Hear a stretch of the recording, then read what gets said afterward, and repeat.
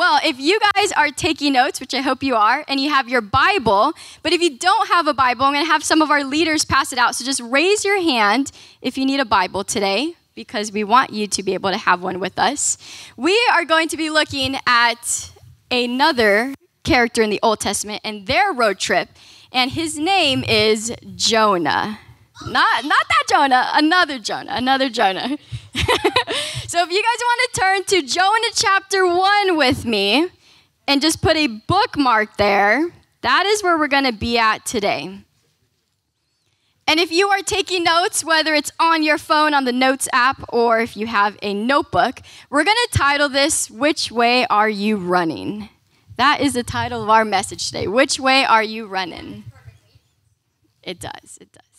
While you're finding that, I'm going to go ahead and pray for us, guys, okay?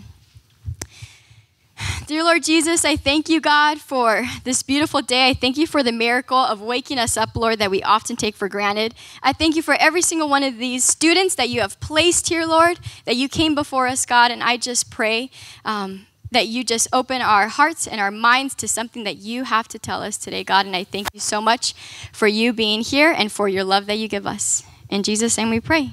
Amen. Okay, so I have a question for you guys, and I just want you to raise your hand. Just raise your hand. If you have ever been on a trip and you ended up going one way and maybe got lost along the way, or perhaps you went the long way around, has anyone ever accidentally done that before? Oh, good. Oh, Jayla's laughing. I wanted this trip. Oh, blame your sister. Oh, okay, okay. Well, I'm glad I'm not alone in that. I'm going to share you guys this story of a trip one time that I took with my family, and we tried to get one place, and we definitely got lost along the way. Now, this trip, it's known in our family as the death hike story. Okay? Yes, we barely survived it. Now, when I was younger, our family used to go camping all the time. It's like one of my favorite childhood memories. And we went we went camping with my mom's side of the family. And something about my mom's side of the family is they are very I don't want to say crazy because that sounds bad. We're going to go with adventurous, spontaneous people, okay? And overly confident.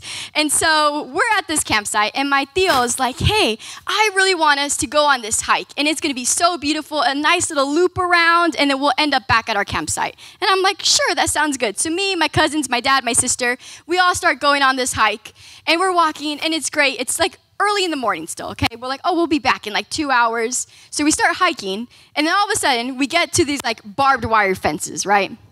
And any normal person would be like, oh, we should not go across a barbed wire fence. But of course, my tio is so confident. He's like, oh no, that's where we have to go. So then my dad's tossing my sister under, I'm crawling over, and then we keep on hiking, right? We think this is totally normal. We're following, we're following. And then it's starting to get later in the day, right? And now I'm starting to get tired. And as a kid, maybe two hours seems like forever, right? And it's getting hot. Now the sun is like rising. It's getting hot, and we only all brought like one bottle of Gatorade with us, okay? So we're hiking, we're hiking. I finish. I go through my bottle of Gatorade first. And I look to my cousin, I'm like, Giovanni, do you want to share me just like some Gatorade? And you know what this kid has the audacity to say? He looks at me and goes, oh, you have cooties, Alexis. I can't share with you. I'm like, cooties? We're family. What the heck? So I'm like, fine. So I share with my sister. We keep going. It's getting super hot. We're hiking, we're hiking. And then all of a sudden, my tia like starts crying. And I'm like, oh my gosh, like what is happening? We turn around and she has blisters like all over her shoulders. I kid you not. Because it is so hot and she is like literally burning, right?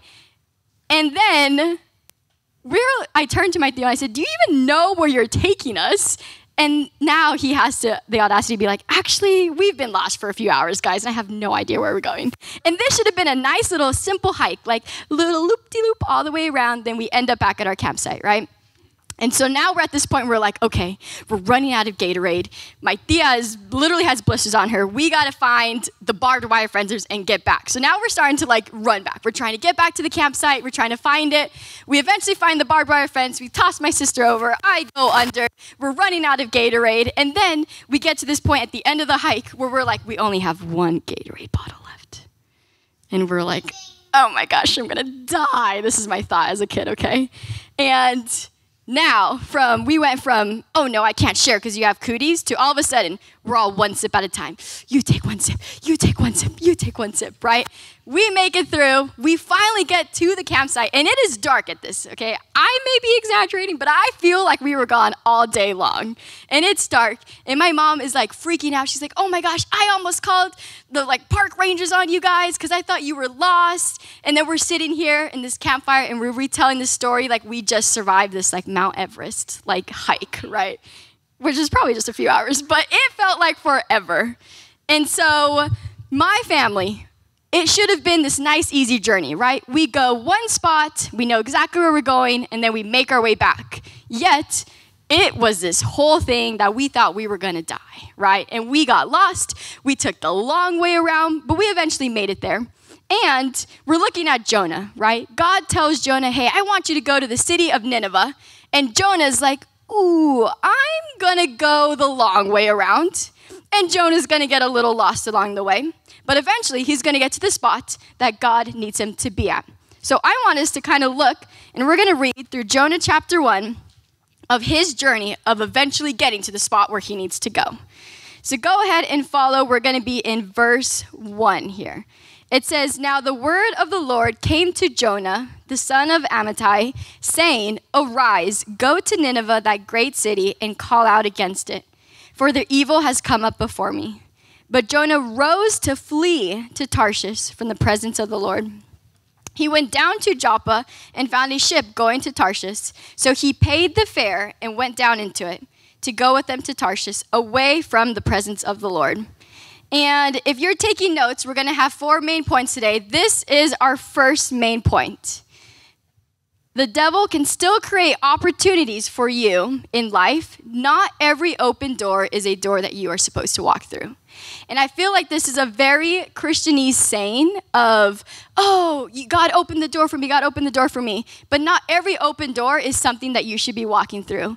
You look here at Jonah, and I think I have a map. Can I have a map up? David. I think I have it up here. Oh, perfect. Right? Jonah is right here, and he just needs a short little trip to Nineveh because that is where God wanted him to go. And instead, what so happened to be waiting for Jonah is a ship that is going to take him the farthest away from Nineveh possible, right? And you look at that and you see that in scripture here that this open door, this opportunity, took Jonah farther away from the Lord. The devil can open up and create these opportunities for you. Not every open door is a door that you should be walking through. But that can also be a scary thing because then you find yourself asking, well, how do I know if I should walk through that open door, right? And these are three things that when I was thinking about this and praying about this, of stuff that I feel like helps us discern whether we should walk through that open door or not. The first one is to write down your prayers and ask the Lord what you should do. And I think it's really cool when you physically write down your prayers because then you can actually see God when He answers those prayers, whether it's the way you wanted to or not, but He will answer them.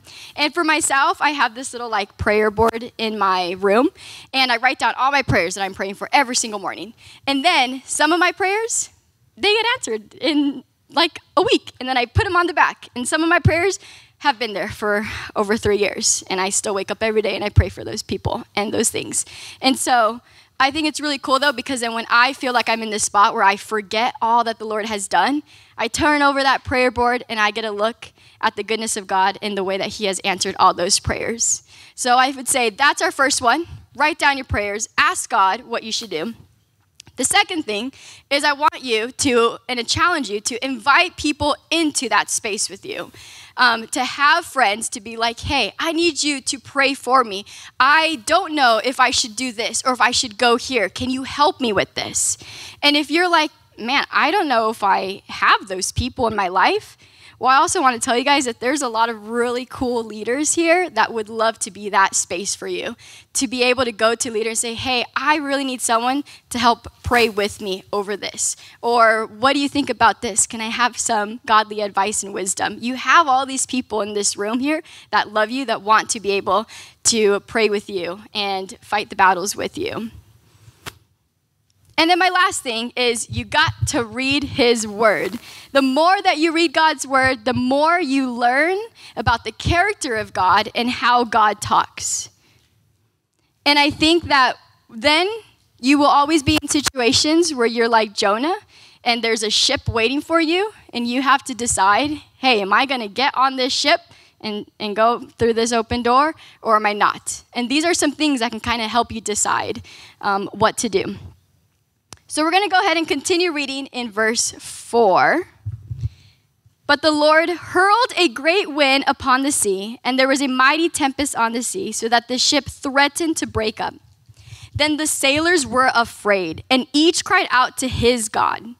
And they hurled the car- that cargo that was in the ship into the sea to lighten it for them. But Jonah had gone down into the inner part of the sea, or into the inner part of the ship, and had laid down and was fast asleep. So the captain came and said to him, What do you mean, you sleeper? Arise, call out to your God. Perhaps the God will give a thought to us that we may not perish. And this is my point number two. Who's in your boat matters. Who are the people that you are surrounding yourself with matters, right? Look here in Jonah, or yeah, in Jonah. He was not supposed to be in that boat, right? And this ship is sinking. The sailors are freaking out. They're desperately crying out to any God who will give them just a thought because Jonah was not supposed to be on that boat.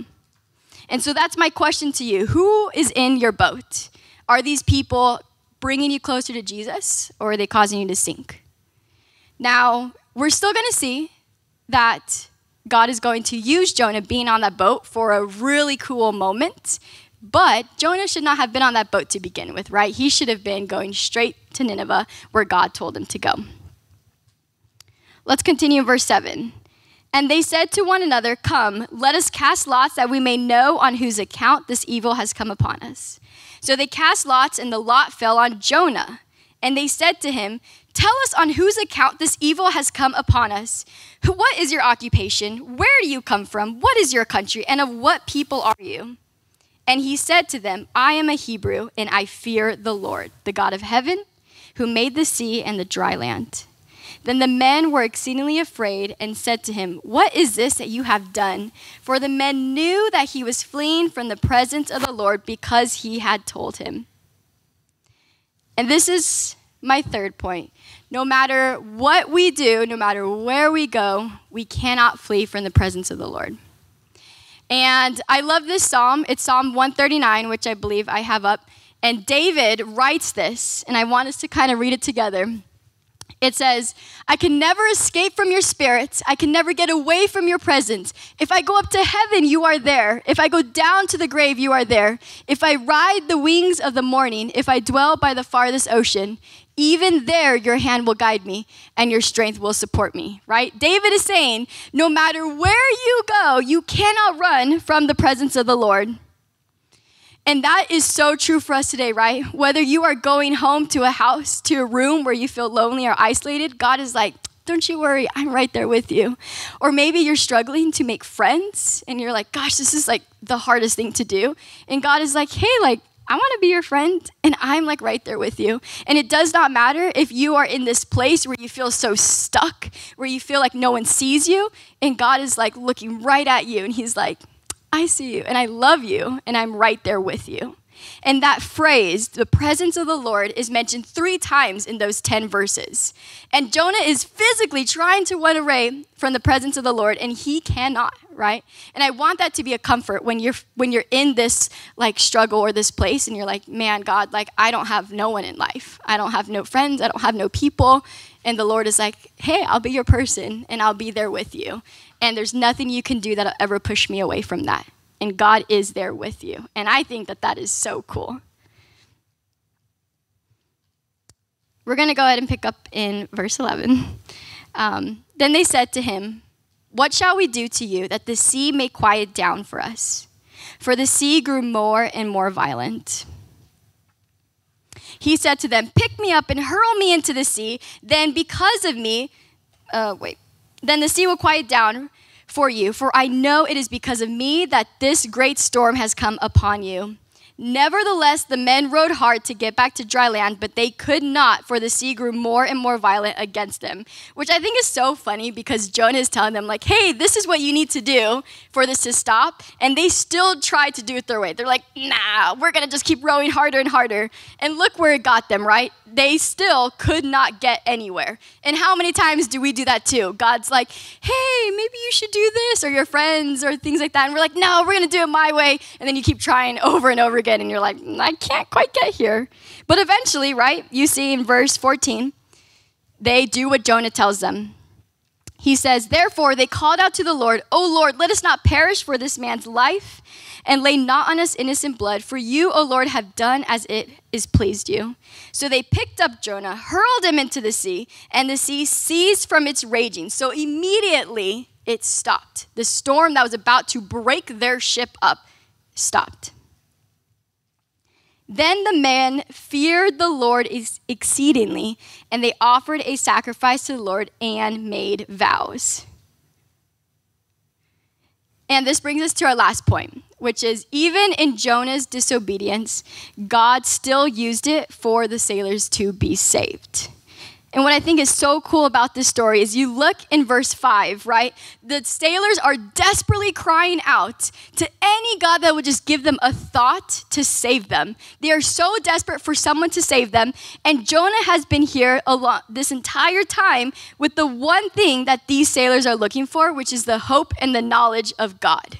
And how many of us have people so desperate in our life that need something, that want something to help them get through these hard struggles and these trials because they will come, right? And you have the one thing that you can give to these people, and that's the hope and the knowledge of the gospel.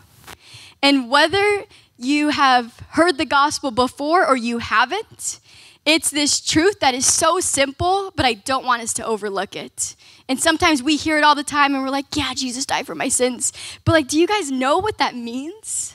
Like, I was sitting with this all day this morning and I was asking God, like, God, like, what is one thing that I just really want everyone to know? And I want us to be reminded of what the gospel is that God chose to send his son. He did not have to, okay? But he chose to send his son to die this death he did not deserve, to be beaten, to be tortured, to be humiliated so that you get a chance to spend eternity with Him. And that's because God looked at every single one of you and said, I do not want to spend eternity in all of heaven without you in it. And what I think is so sweet about this is there's this like lyric from a worship song, and it says, You did not want heaven without us, so Jesus, you brought heaven down. And God looks at you and is like, I don't want to spend all of eternity without you. And sometimes I try to like, sit and grasp this concept of eternity, and sometimes it's scary and it's hard because I can't understand this idea of forever and, and this concept of time, right? But just imagine the Lord is like, man, I'm going to do this thing so that you have a choice that you can spend all of eternity with me in a place that you get to experience all of my goodness, all of my love, in a place where there's no more pain, there's no more tears, there's no more suffering, there's no more crying. We were never, to, we were never supposed to experience this stuff here, but because of sin, we do. And I don't know about you, but I can't even imagine a place where I don't cry, because I cry a lot, okay? And I can't imagine a place where there's no more pain and there's no more suffering, because I've seen a lot of it in the people's lives that I love. And the Lord is like, I have prepared this place for you and I want you with me. So I'm going to send Jesus to make sure that you have this this choice so that you can choose me and you can spend all of eternity with me. And I think that is the sweetest thing ever. And let's say that this story stopped with Jonah chapter 1. And Jonah never went to Nineveh. Everything that he went through, being tossed overboard, swallowed by the fish, all of these things was for these men to be saved, for these men to have a chance to know God. Because these men's souls were worth it to God. Just how He looks at every single one of you and is like, You are worth it to me. And I know that it's hard sometimes when you are going through suffering to see that anything good can come out of it. But I want you to imagine that while you are suffering, if one person gets to know Jesus and then gets to spend all of eternity with God up there in heaven, just partying up, dancing, wouldn't that suffering be worth it? And I know that we all are going to go through this whether it's going to be now or later in your life, there's going to be a time that you're going to go through suffering or hard things. And I want you to think, man, God, how can you use this so people get to spend all of eternity with you? Because you have a very cool gift that the Lord has given you if you choose to accept it. And that's to spend this entire eternity with Him, just dancing and praising and worshiping. And I think that's a really cool thing. And if you look in the rest of Jonah, and you want, I'll challenge you to read the next few chapters throughout this week.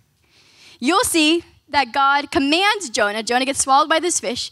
God commands Jonah, um, or commands the fish to spit out Jonah right where he needed him to be. So Jonah will still find himself in Nineveh. He will still find himself preaching repentance and grace and mercy.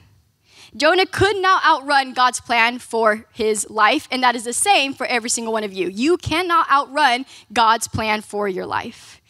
So, my question to you is which way are you running? Are you going to be running with God or are you going to be running away from God? Okay, let's go ahead and pray, guys. Dear Lord Jesus, I thank you, God, so much for today. I thank you for these students that you have purposely brought here, God, to be able to hear the gospel message and to be reminded that we get to spend all of eternity with you. And I thank you so much for your love and for your grace and for just knowing us and seeing us, and that no matter where we can go, that there that you are always there, Lord, and we cannot flee from your presence. And I pray that you just have that we all have fruitful conversations um, in our small groups. And I thank you for this night. In Jesus' name we pray. Amen.